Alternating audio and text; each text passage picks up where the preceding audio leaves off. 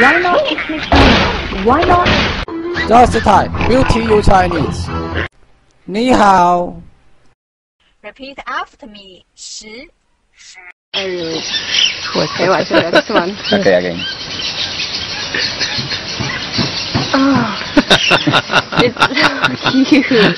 Oh man, you work all day. Yeah, really tough job. Again. This Chinese character means 10 in English. This is its syllable 十 Repeat after me. 十